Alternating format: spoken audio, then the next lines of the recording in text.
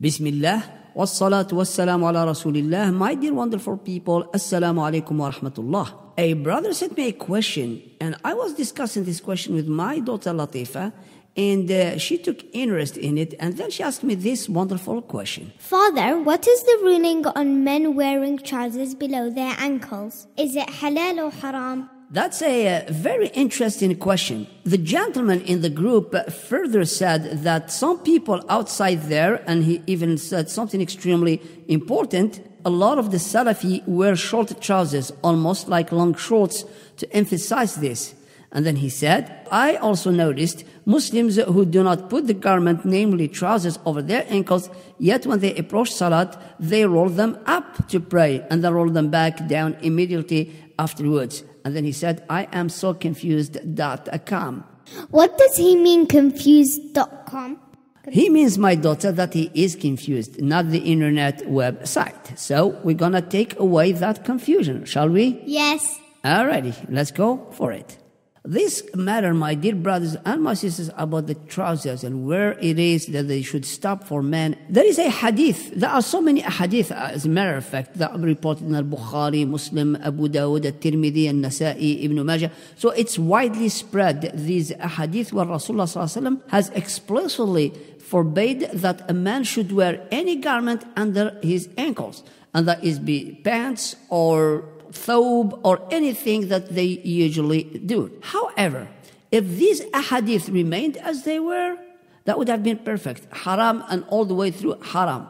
Yet there is one hadith in Al-Bukhari which has caused a lot of uh, discussions between the scholars and then many other hadith followed after that. The hadith in question is even Al-Imam Al-Bukhari alayhi rahmatullah when he put it in his book, he put it, as the scholars say, as if al-Bukhari is of the opinion that uh, it is not haram, but I'll come back to that later and you'll understand what I mean. Rasulullah one day was sitting with the Sahaba and then he made this statement. من جر ثوبه خيلاء لم ينظر الله إليه يوم القيامة فقال أبو بكر يا رسول الله إن إزاري يسترخى إلا أن, تعا إلا أن أتعاهده فقال رسول الله صلى الله عليه وسلم إنك لست ممن يفعله خيلاء البخاري ومسلم عنده بعضه One day Rasulullah صلى الله عليه وسلم said in the hadith that whoever drags his thobe, whatever his thobe, khuyala, khuyala as a show off, as a booster. Allah subhanahu wa ta'ala will not look unto him on the day of Al-Qiyamah. Abu Bakr as-Siddiq heard that obviously and he said, Ya Rasulullah, I have my izar, and izar is a garment that a man turns. Like, uh, for example, if you're at the beach, you take a towel and you round it around you at the waist. So that's what they wear, and I think some cultures still do that. So Abu Bakr Siddiq said, Ya Rasulullah, I have my izar that I roll around me, and the izar gets loose and it descends way below my ankles. Rasulullah says, Abu Bakr, innaka lasta mimman yaf'aluhu khuyala. You are not one of these who make it as a show off, as a boosting, as somebody who thinks of himself a big shot. In another hadith, also in Al Bukhari, Rasulullah says, ما أسفل من الكعبين من الإزار ففي النار. Whatever of the izar, again the garment that you roll around your waist, that is under the ankles is in the nar, in Jahannam. In another hadith by Imam Muslim, رسول الله صلى الله عليه وسلم says ثلاثة لا يكلمهم الله يوم القيامة ولا ينظر إليهم ولا يزكيهم ولهم عذاب أليم المسبل والمنان والمنفق سلعته بالحلف الكاذب مسلم This hadith here, three people, Allah subhanahu wa ta'ala will not talk to them on the day of Al-Qiyamah, neither will He look at them, nor will even give them the privilege of talking to them. Because sometimes when someone does wrong and you talk to him, you've privileged, you've given them the opportunity to be asked. But on the day of Qiyamah, Allah la He will not even give them the minimum type of importance to make them feel like at least they have been questioned. Who, and they will get the azab alim, a very, very severe punishment on the day of Qiyamah. And then he said, Al-Musbil. Al-Musbil is the person who wears the garment under the ankles. Wal-Mannan is the one who donates a sadaqah, who does a favor, and then he keeps dingling it in front of the people. I did this and I done that. والمنفق سلعته بالحلف الكاذبة and the one who sells uh, whatever it is that they sell while swearing with the name of Allah subhanahu wa ta'ala and i.e. they lie. So here these ahadith make it sure that we understand that wearing something beneath the ankle is haram. However, the hadith of Abu Bakr as-Siddiq radiallahu anhu when he said, Ya Rasulullah, I don't wear it as a show off. And Rasulullah says, You are not of these people. In the other hadith, it always says khuyala or batar, meaning every time they wear it, they wear it to show off or to make a statement of their status, i.e., they have they are trying to prove a point. The scholars radiallahu anhum looked at these. And subhanAllah, when you look throughout history, this is one of the controversy issues. Just like the niqab, just like music, just like going to salat on your hands or your knees first, and many, many other things. At the time of the Sahaba, they didn't have a problem with this because everybody was humble and simple. Life was absolutely good. No problems at all. And then it is only later on when Muslims have confused their purpose with their tools. They are in this life to use it as a tool. They started thinking when Allah subhanahu wa ta'ala gives them something, that's it. They start proving to people that they are this and they are that. A sheikh al-Munajjid on Islam QA has got like about 10 different fatwas and all of them are contradictories. Again, I want to say something here about the scholars in Saudi Arabia. Scholars in Saudi Arabia. Saudi Arabia follows the Hanbali school of thought. And this is by far the closest to the Sunnah. Yet, it's not the perfect school of thought. And as you shall see, in Saudi Arabia nowadays that Islam has been constitutionalized Islam is no longer as it used to be before. Different scholars give different points of view, like it always been. Today, a group of scholars now have become the country's group of scholars anybody that says something different than what they say is straight away an innovator or someone who is not of Al Sunnah or Jama'ah, or they will label him. Unfortunately, Islam these days has become, it's either you do like us or you are against us. For instance, if you are in Saudi Arabia or you pray in a place where the Saudis pray, when we come back from the ruku', there is a difference of opinion between the scholars. Where should we put our hands? Should I grab my hand back how I was before the ruku', or should I let it loose? الشيخ ناصر الدين الألباني عليه رحمة الله الشيخ الحويني in Egypt and many other scholars they have established and before them Ibn Hajar al-Asqalani and many have established that the sunnah is to let the arms loose not grab them as you did before the ruku' but in Saudi Arabia, Ibn Baz and Ibn Uthaymeen, they see, and the majority of their scholars, they see that the arms, when you come back from the ruku', you must grab them as you were before making the ruku'. Sheikh Nasruddin al-Albani has called that as a bid'ah of Najd, a bid'ah to Najdiyah. This is a bid'ah of the people of Najd, which are Saudi Arabia, because he doesn't want to call them the Saudi Arabia.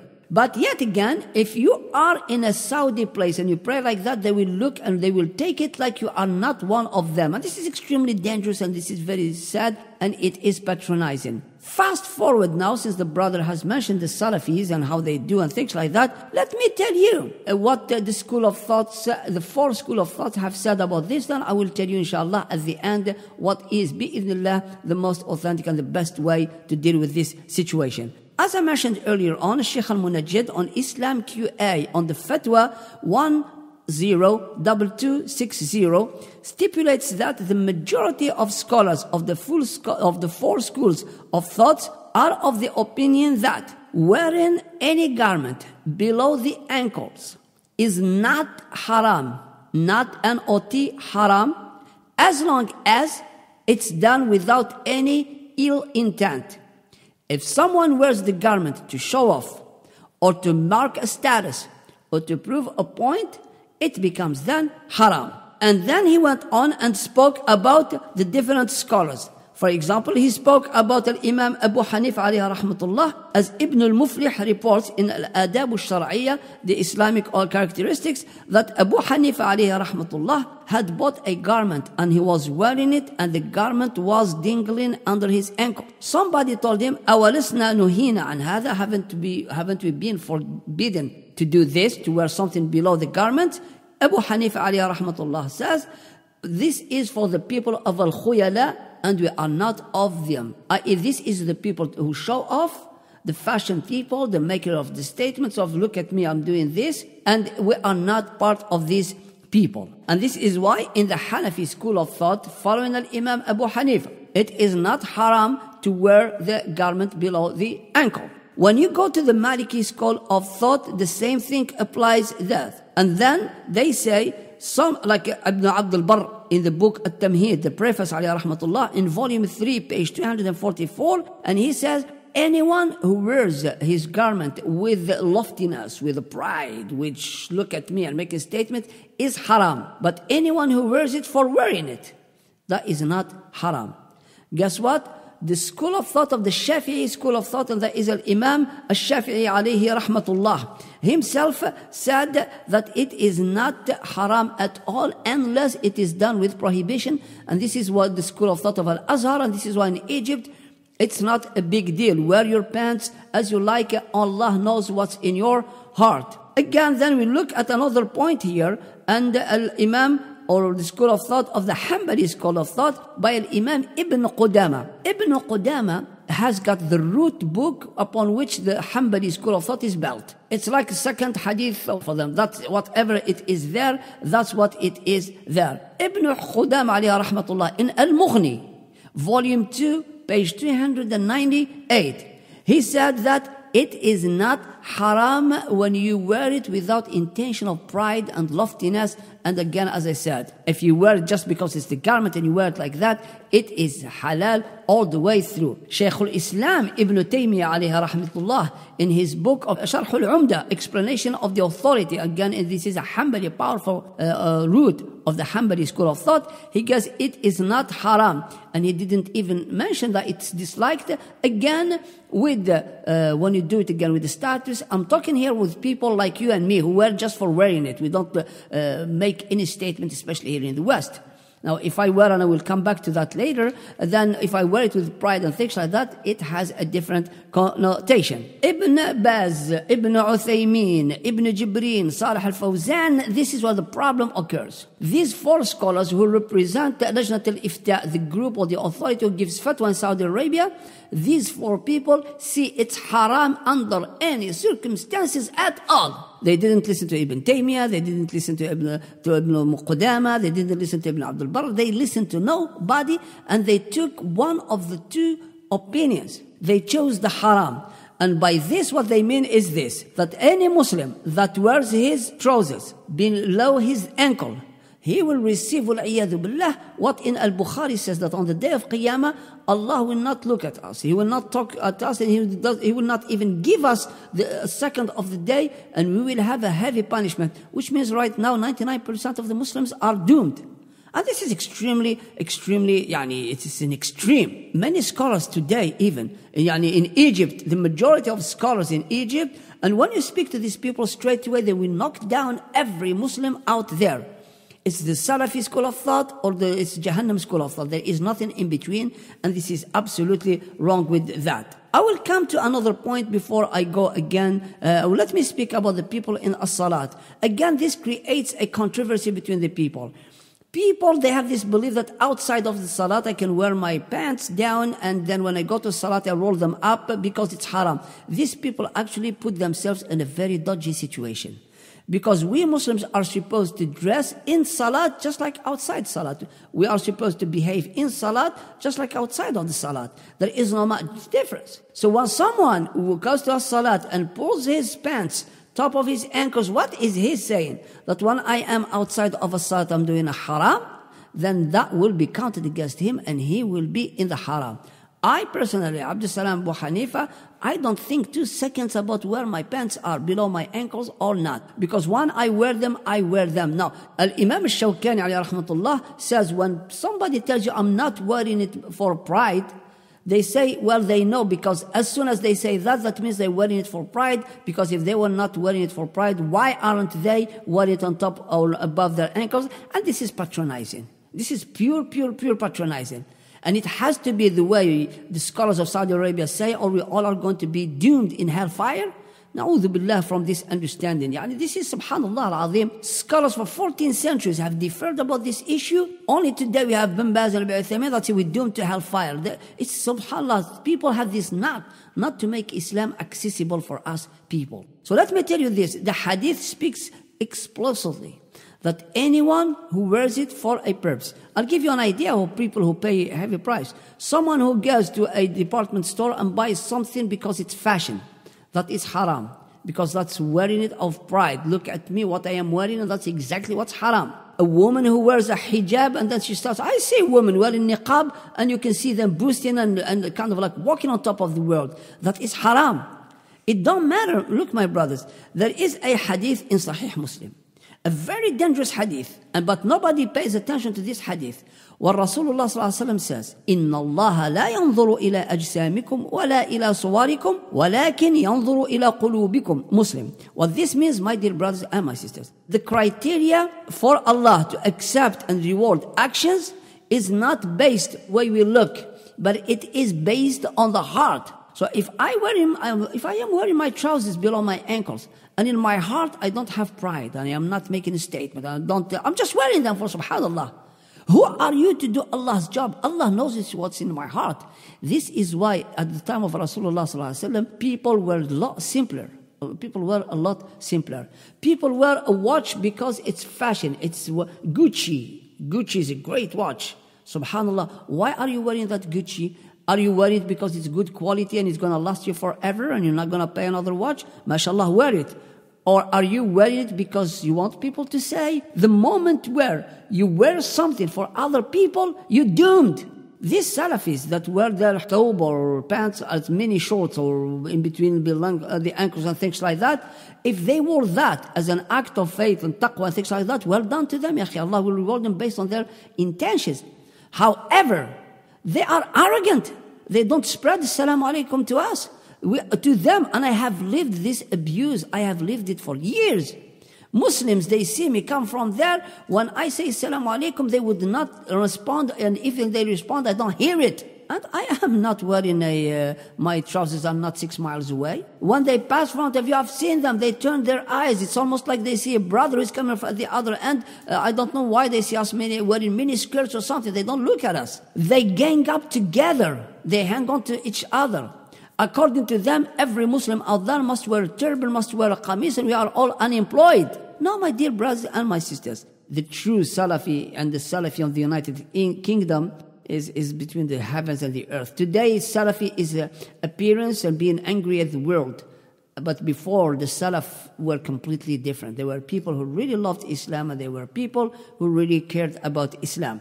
So, my dear brothers and my sister, just to recap the whole thing so that the brother can click on exit from the confused.com. Is it haram to wear a pair of pants or qamis under the ankles for men?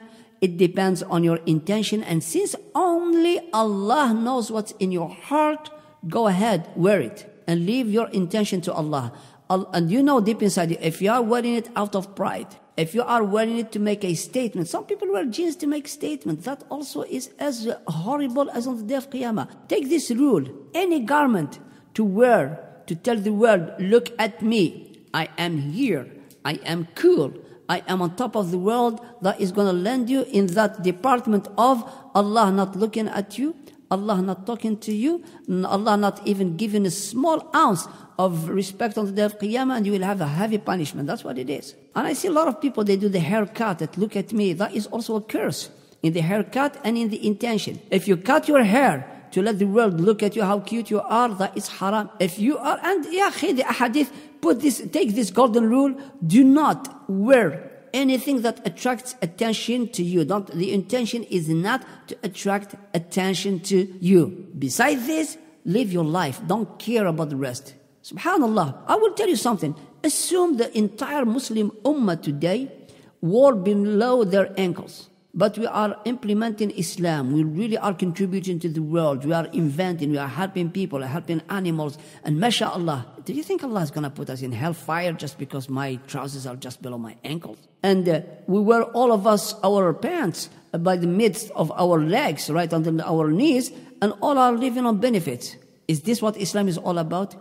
Subhanallah, how much we waste time on these trivial issues. When we compare them to the important issues where Muslims are being abused and killed and all that kind of stuff, and we're still hating each other because I don't wear my trousers as you do. My dear brothers, to the asker of this question, don't worry. You, as long as your heart is pure and you are not doing it to show your state or pride or things like that, Allah subhanahu wa ta'ala will love you and you are closer to Allah than you think. Do not listen to these sticks in the mud. There are some people out there whose job is only to make Islam extremely inaccessible. Subhanallah, what kind of Islam is this? billah. And I pray to Allah subhanahu wa ta'ala to preserve us, preserve our faith, and make us of those people who actually look at the heart of Islam not at the looks of Islam. As I said, Allah Ta'ala will not look at our bodies or at our how we look and things like that, but He looks at the hearts, and that's where everything goes. Father, Jazakallah khairan. Now I understand finally. Okay, my dear brothers and my sisters, I pray to Allah subhanahu wa ta'ala that this is clear now and that you won't be so confused, my dear brothers and my dear sister. To join this group, please send a message to 078 76 408735. This is again your brother Abdul Salam Abu Hanifa, and today I have Latifa with me. You stay in the mercy of Allah. وصلى الله على نبينا محمد سبحانك اللهم وبحمدك أشهد أن لا إله إلا أنت أستغفرك وأتوب إليك